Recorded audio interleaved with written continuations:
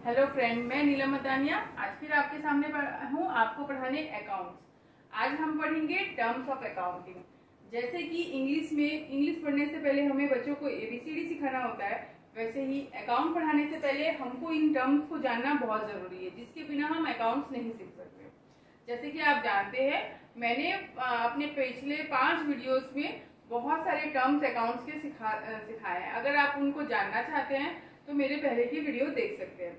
पिछले वीडियो में मैंने आपको बताया था ट्रेड पेबल क्या होता है स्टॉक इन ट्रेड क्या होता है कॉस्ट क्या होता है वाउचर क्या होता है इनवॉइस और बिल क्या होता है अगर आपको उसमें किसी डाउट होगा तो मुझे कमेंट कीजिएगा आज हम पढ़ेंगे डिस्काउंट क्या होता है बुक्स ऑफ़ अकाउंट्स क्या होता है बुक वैल्यू क्या होता है बैलेंस शीट क्या होता है एंट्री क्या होता है और पोस्टिंग क्या होता है तो हम स्टार्ट करते हैं डिस्काउंट क्या होता है discount is a concession which uh, which we give to our customer uh, to to get uh, immediate cash to boost our uh, sale. Is called as discount. मतलब जो जो रियायत मतलब जो छूट हम कस्टमर को देते हैं या जो कम पैसा हम कस्टमर से लेते हैं ताकि हमको जल्दी पैसा मिल जाए हमारा पैसा अटके नहीं या फिर अपना सेल्स को बूस्ट करने के लिए। कि जैसे कि हम हमारा रहता है कि हम दुकानों में देखते हैं ten percent discount fifty percent discount वो किस लिए रहता है? ताकि वो लोग अपना सेल्स को बढ़ा सके। लोग लोग डिस्काउंट दे के शॉप में आए और सामान खरीद के जाए। या फिर हम ऐसा डिस्काउंट देते हैं कि अगर आप ज़्यादा सामान लोगे तो इतना डिस्काउंट बड़ा पैकेट लोगे तो इतना डिस्काउंट ताकि हमारा ज़्यादा से ज़्यादा सामान हम लोग कस्टमर के ऊपर को बेच सके। वो होता है डिस्काउंट या फिर हम कस्टमर को बोलते हैं कि आप अगर आज पेमेंट कर दोगे तो मैं आपको एक परसेंट और डिस्काउंट दे दूँगा। तो कस्टमर सोचेगा, एक परसेंट पैसा मेरा बच रहा है, बच रहा है तो मैं आज ही पैसा देता हूँ, मेरे को दे रहा तो है, कल या आज तो आज दे देता हूँ। तो डिस्काउंट दो टाइप के होते हैं। एक होता है कैश डिस्काउंट और एक होता है ट्रेड डिस्काउंट कैश डिस्काउंट क्या होता है? जब हम कस्टमर को डिस्काउंट देते हैं, अगर वो इमीडिएट कैश पेमेंट कर देता है तो वो कैश लेने के चक्कर में जो हम डिस्काउंट देते हैं, उसको बोलते हैं कैश डिस्काउंट और ट्रेड डिस्काउंट ये होता है जो हम, जब हम अपना सेल को बूस्ट करने के लिए कस्टमर को डिस्काउंट देते हैं, किस पे देते हैं वो डिस्काउंट मार्क प्राइस जो प्राइस लिखा होता है ना ट्रेड डिस्काउंट हमेशा उस प्राइस पे रहता है. जो price mark price maximum retail price जो होता है, जो लिखा रहता है, उसके ऊपर हम ट्रेड डिस्काउंट देते हैं. और cash cash discount books of account में आता है। मतलब कैश डिस्काउंट इतना इतना, हम उनको पैसा मिला, इतना कस्टमर ट्रेड डिस्काउंट काट के डायरेक्ट मार्क प्राइस से काट के हम टू सेल्स दिखाते हैं। ये बुक्स ऑफ़ अकाउंट में ट्रेड डिस्काउंट बोल के कुछ नहीं शो करते हैं। ओके तो नेक्स्ट हम पढ़ेंगे बुक्स ऑफ़ अकाउंट क्या होते हैं। बुक ऑफ़ अकाउंट क्या होता है? बुक ऑफ़ अकाउंट एक वो बुक है जिसमें हम अपने अकाउंट्स को रिकॉर्ड करते हैं। उसको बुक्स ऑफ़ अकाउंट कहते हैं। जैसे कि जर्नल जर्नल एक बुक है जिसमें हम ट्रांजेक्शन होते ही रिकॉर्ड करते हैं। फिर और एक बुक्स होते हैं लेजर जिससे हम जर्नल से बुक को ट्रांजेक्शन को पोस्ट करते हैं। ऐसे ही purchase book cash books customer का अकाउंट्स का books PL PL book balance sheet ये सब होते हैं बुक्स ऑफ़ अकाउंट मतलब अकाउंट्स के बुक्स जिसमें अकाउंट्स रिकॉर्ड किया जाता है, उनको हम बोलते हैं बुक्स ऑफ़ अकाउंट मतलब अकाउंट्स के बुक्स को। बुक वैल्यू बुक वैल्यू क्या होता है? जो हम एसेट्स होते हैं, हमारे, या लैंड एंड बिल्डिंग जो भी हमारे हैं, जो उस बुक्स में जिस रेट में रिकॉर्डेड है, उसको बोलते हैं बुक वैल्यू मतलब बुक में उस एसेट्स का या उस चीज़ का क्या वैल्यू है, उसको बोलते हैं बुक वैल्यू हाँ अकाउंट्स में हर एक चीज़ का एक बुक वैल्यू होता है और वो ही इम्पोर्टेंट होता है। तो जो चीज़ का, जो चीज़, जो रेट में हमारे बुक्स ऑफ़ अकाउंट में रिकॉर्ड होते हैं, उसको बुक वैल्यू जैसे गुडविल गुडविल का भी एक बुक वैल्यू हमारे बुक्स ऑफ़ अकाउंट में गुडविल किस रेट में है?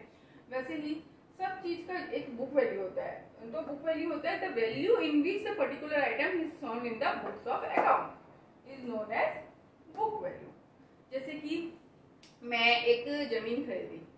वो ज़मीन तो था पाँच हज़ार का लेकिन हमारे बुक्स ऑफ़ अकाउंट में वो शो कर रहा है आज चार हज़ार क्योंकि एक साल के बाद वो डेप्रिसिएशन या आ, कोई भी रीजन से हम उसका कटा के कुछ भी हुआ या फिर बढ़ा हुआ दिखा रहे हैं तो बुक्स ऑफ़ अकाउंट में जो वैल्यू है उसका उसको बोलते हैं बुक वैल्यू वो हमारा बुक वैल्यू होगा उस दिन का ज़मीन का। जैसे लैंड एंड बिल्डिंग खरीदे हम मशीनरी खरीदे। मशीनरी हम खरीदे थे दस हज़ार का। तो उसको हर साल दस हज़ार डेप्रिशिएशन हम पहले से फिक्स किया हर साल दस हज़ार डेप्रिशिएशन दिखाएँगे।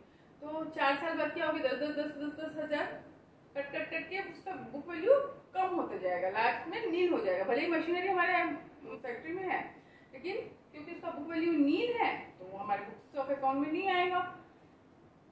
नेक्स्ट है बैलेंस शीट बैलेंस शीट सबसे इम्पोर्टेंट है, जिससे देख के बहुत लोग अपना डिसीज़न दिखाते हैं। बैलेंस शीट शो करता है कंपनी का स्टेटस कि, वो आज किस पोजीशन में है, उसका एसेट क्या है लाइबिलिटी क्या है उससे ग्रोथ हो रहा है कि नहीं, जो जितने स्टॉक ब्रोकर्स होते हैं, वो इस बैलेंस शीट को देख के ही डिसीज़न लेते हैं whether they will invest in the company और नॉट इन्वेस्टर लोन हमारा बैलेंस शीट को देखते हैं। तो आउटसाइडर लोन के लिए बैलेंस शीट ही एक आईना है हमारे कंपनी के बारे में जो हम बताता है कि कंपनी कैसा है। तो बैलेंस शीट में दो साइड होते हैं। एक साइड होता है लाइबिलिटी और एक होता है एसेट्स एसेट साइड में जितने हमारे कंपनी के एसेट्स है, जैसे land and building plant and machinery stock जितने हमारे कंपनी के एसेट्स हैं गुडविल वो सब आएँगे प्रॉफिट और लाइबिलिटी साइड में क्या आएँगे? जितना हमारा लाइबिलिटी है, जैसे कि कैपिटल आउटसाइडर और इनसाइडर लाइबिलिटी दोनों आएँगे। आउटसाइडर बोलने से जो बाहर वालों को हमको पैसा देना है और इनसाइडर बोलने से जो ओनर को देना है, जो कैपिटल है, वो सब इधर आएँगे। नेक्स्ट है एंट्री एंट्री क्या होता है? जब ये ट्रांजेक्शन होता है, उसको हम जब अपने बुक्स ऑफ़ अकाउंट में लिखते हैं, उसको बोलते हैं एंट्री मतलब जब वो ट्रांजेक्शन को लिखा जाता है बुक्स ऑफ़ अकाउंट में, उसको बोलते हैं entry recording of business transaction in the journal और इन सब्सिडरी बुक जो हम बिज़नेस ट्रांजेक्शन को रिकॉर्ड करते हैं जर्नल या उसके सब्सिडरी बुक सब्सिडरी बुक कौन से होते हैं? लेजर होते हैं फिर पी एल अकाउंट ये सब कैश बुक ये सब उनके सब्सिडरी बुक्स होते हैं। तो जब एक ट्रांजेक्शन को रिकॉर्ड किया जा सकता है जर्नल में लेजर में कहीं भी, भी रिकॉर्डिंग किया जाता है तो उसको बोलते हैं एंट्री पोस्टिंग क्या होता है? पोस्टिंग होता है, जब हम एक रिकॉर्डेड ट्रांजेक्शन को मतलब एक रिकॉर्डेड एंट्री को पोस्ट करते हैं दूसरे में, जैसे जर्नल से हम उसको पोस्ट करें लेजर में तो वो बोलता है पोस्टिंग जैसे कि हम ट्रांसफ़र कर रहे हैं जर्नल में जैसे ही ट्रांजेक्शन होता है, हम रिकॉर्ड कर देते हैं, फिर उसे पोस्ट करते हैं हम सब्सिडरी बुक में.